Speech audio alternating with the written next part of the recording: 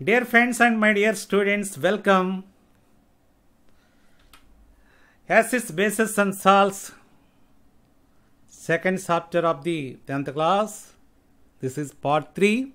ఆమ్లాలు క్షారాలు లవణాలు పాఠ్యాంశంలో మూడో భాగం this is the third video today the importance of pH in everyday life నిత్య జీవితంలో పీహెచ్ యొక్క ప్రాముఖ్యత. మన లైఫ్లో పీహెచ్ ఎంత ఇంపార్టెన్స్ కలిగి ఉంది అనేది మనం డిస్కస్ చేయబోతున్నాం. Yes let's go acid rains ఆమ్ల వర్షాలు. What are acid rains?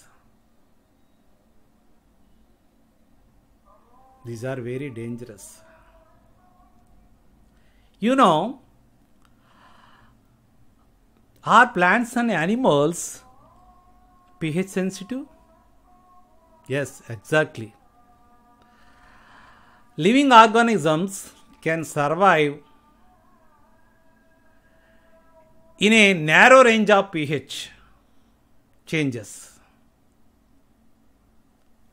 Look, normal rainwater normal rainwater ph of normal rainwater is 5.6 what is the ph?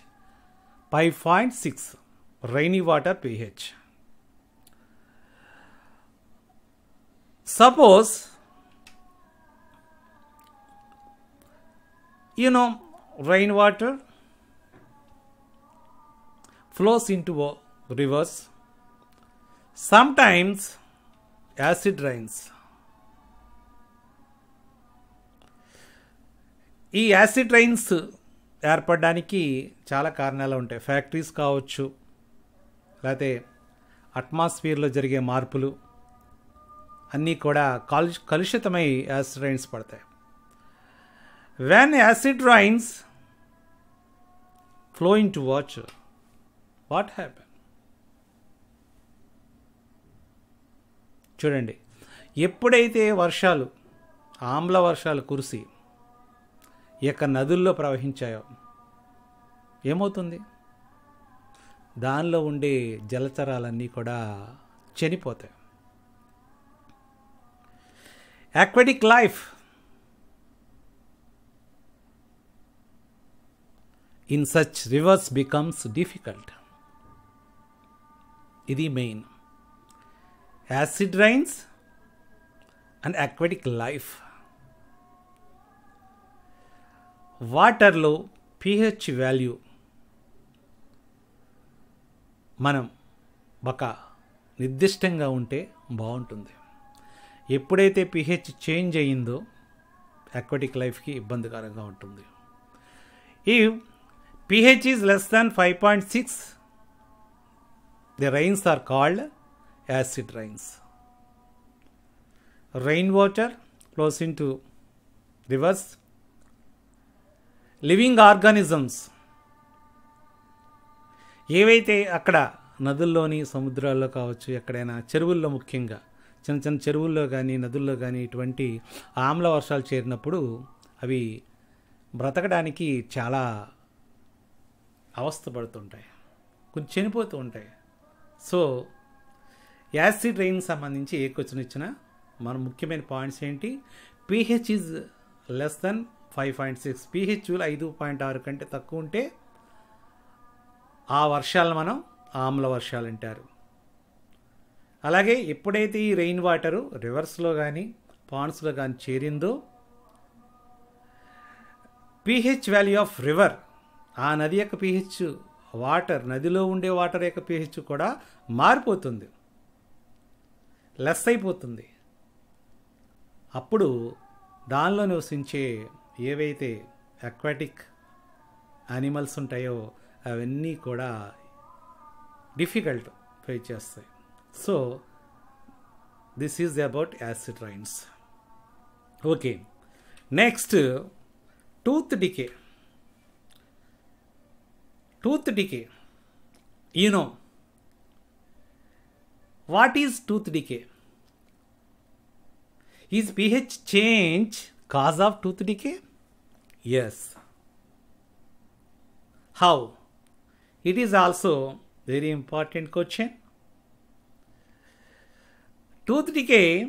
starts when starts when pH of mouth lower than 5.5. pH values five point five కంటే తక్కువ ఉన్నప్పుడు ఈ దంతక్షయం అనేది ప్రారంభమవుతుంది. ఎక్కువగా పిల్లల్లో మనకి కనిపిస్తుంది.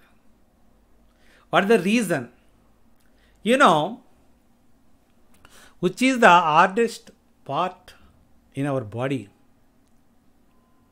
enamel tooth enamel చాలా దృఢమైన పదార్థం ఏంటి? పన్ను. దంతం. Calcium phosphate made of calcium phosphate గుర్తుపెట్టుకోండి. దేంతో తయారవుతుంది? కాల్షియం పాస్పేట్ తోటి తయారవుతుంది. It is hardest part in our body చాలా గట్టిగా ఉంటుంది. It does not dissolve in water వాటర్లో కరగదు. సో దట్ ఈజ్ వై మనం ఎంత వాట తాగినప్పటికీ పళ్ళకి ఏ విధమైన ప్రమాదం లేదు. బట్ మన మౌత్లో యాసిడ్ ఎక్కువ ఉంటే మాత్రం ఇది పాడవుతుంది. Enamel corrode when the pH in the mouth is less than five point six when మరి ఎప్పుడు టూత్ టికే ప్రారంభమవుతుంది?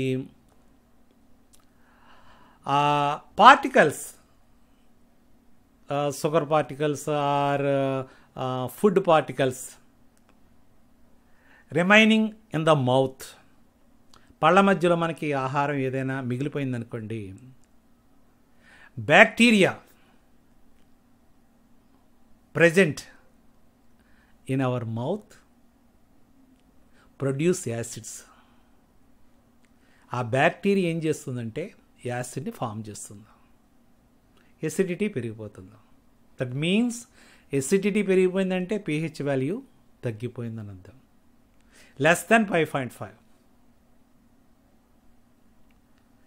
ఎప్పుడైతే పిహెచ్ వాల్యూ తగ్గిపోయిందో టూత్ డికే ప్రారంభమవుతుంది.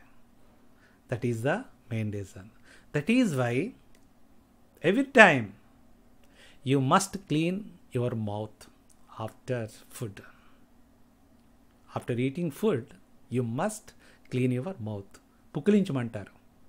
తిన్న తర్వాత.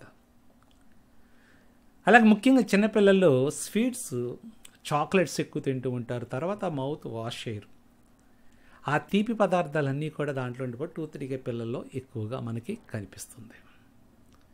మరి ప్రివెన్షన్ ఏంటి? ఎలా తగ్గించాలంటే పేస్ట్. Basic nature. న్యూట్రలైజ్ చేయడం. అంటే బేసిక్ బేసిక్ నేచర్ గల టూత్పేస్ట్ ఉపయోగించి దాన్ని మనం తగ్గించవచ్చు అనమాట అంటే ఎప్పుడైనా సరే టూత్ డికే ప్రారంభమైంది అని అనిపిస్తే మీరు వెంటనే రోజుకి కనీసం రెండు సార్ రెండు సార్లు మనకి దంతాలు తోమంటారు అందుకే. పుక్కిలించడం ప్రతిరోజు కూడా పడుకునే ముందు కూడా టూత్ మనం శుభ్రం చేసుకుంటే ఈ యొక్క టూత్ డికే నుంచి మనం కాపాడుకుంటాం. ఎస్ నెక్స్ట్ అది important key words in tooth decay సంబంధించి టూత్ ఎనామిల్ పింగానిపార్ గట్టిగా ఉంటుంది కాల్షియం పాస్పేట్ తోటి తయారవుతుంది. షుగర్ ఫుడ్ పార్టికల్స్ ఉంటాయి. దంతాల చిక్కుకున్న కణాలు అనమాట ఎక్కడైతే ఉన్నాయో. యాసిడ్ ఫార్మేషన్ ఆమ్ల ఉత్పత్తి బ్యాక్టీరియా ఫామ్ చేస్తుంది. And pH less than five point six pH ఐదు పాయింట్ ఆరు కంటే ఫైవ్ పాయింట్ ఫైవ్ కంటే తక్కువగా ఉంటుందన్నమాట. లాస్ట్ న్యూట్రలైజేషన్ విత్ టూత్పేస్ట్ ఇది మెయిన్ పాయింట్స్ సందర్భం. నెక్స్ట్ పీహెచ్ ఆఫ్ సాయిల్ మట్టి యొక్క pH. As pH of the soil it is also important healthy growth plants హెల్దీగా ఉండాలంటే పీహెచ్ కంపల్సరీగా ఉండాలి. సాయిల్ టెస్ట్ ఉంటుంది. గవర్నమెంట్ కూడా సాయిల్ టెస్ట్ చేసుకోమంటారు. చాలామంది ఫార్మర్స్ చేయించుకుంటారు కొంతమంది చేయించుకోరు. సాయిల్ టెస్ట్ చేయించుకుంటే దాంట్లో పీహెచ్ వాల్యూ తెలుస్తుంది. అంటే ఆ సాయిల్లో ఆ సాయిల్ ఎసిడిక్గా ఉందా లేకపోతే బేసిక్గా ఉన్నదా తెలుస్తుంది. దాన్ని బట్టి మనం సంబంధించి మందులు వాడుతుంటాం. ఆ యొక్క అక్కడ ఎసిడిటీ పెరిగిందనుకోండి బేసిక్ నేచర్ గల పదార్థాలు మనం ఆ మట్టిలో కలుపుతూ ఉంటాం. So it is very important pH test అనేది సాయిల్ సంబంధించి మొక్కలు ఆరోగ్యవంతంగా పెరగాలంటే కంపల్సరీ స్పెసిఫిక్ పిహెచ్ రేంజ్ ఆ యొక్క సాయిల్కి స్పెసిఫిక్ పీహెచ్ రేంజ్ నిర్దిష్టమైన పిహెచ్ విలువ ఉండేలా మనం చూసుకోవాలి మొక్కల పెరుగుదల కోసం. ఫర్ ద హెల్దీ గ్రోత్ కోసం ఈ మొక్కలు చేయాలి. అంటే ఎక్కువ lime quick lime calcium hydroxide calcium carbonate కూడా చల్లుతుంటారు. ఎందుకంటే మా సాయిల్ యొక్క సాయిల్ ఆమ్లత్వం ఎక్కువైపోయింది అనుకోండి ఈ మందులు వాడుతుంటారు రైతులు. So it is also important next ఇంకా మనకి importance of pH in everyday life next వీడియోలో తెలుసుకుందాం. ఓకేనా? థ్యాంక్ యూ లైక్ చేయండి నా వీడియో షేర్ చేయండి. ఇంకా సబ్స్క్రైబ్ చేయకపోతే మీ ఫ్రెండ్స్ చేత నా ఛానల్ సబ్స్క్రైబ్ చేయండి. అలాగే మీ యొక్క అభిప్రాయాలు కామెంట్స్ రూపంలో తెలియచేయండి. Thank you thank you very much